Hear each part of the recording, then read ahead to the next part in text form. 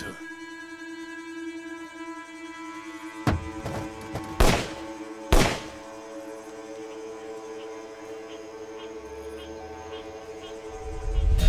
Was haben Sie, Herr Sheriff? Einen Riesenhaufen Mist haben wir hier. Ein Dreifachmord. Unter den Opfern ist die Tochter eines Abgeordneten. Weißt du, es ist schwer zu glauben, dass du immer noch mein vorgesetzter Agent bist. Aber trotz allem müssen wir noch zusammenarbeiten. You. Ich werde alles tun, was nötig ist, damit es unseren Kindern gut geht. just burned it down. Ich habe das Gefühl, dass der Sheriff uns was verheimlicht.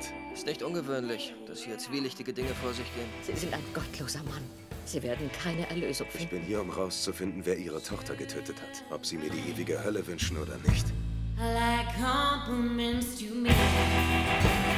Finde ich heraus, dass du etwas damit zu tun hast, bringe ich dich höchstpersönlich um. Wissen Sie, sollte es einen Gott geben, dann wäre ich wirklich sehr, sehr vorsichtig.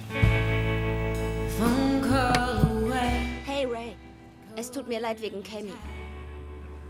Hab sie kaum gekannt.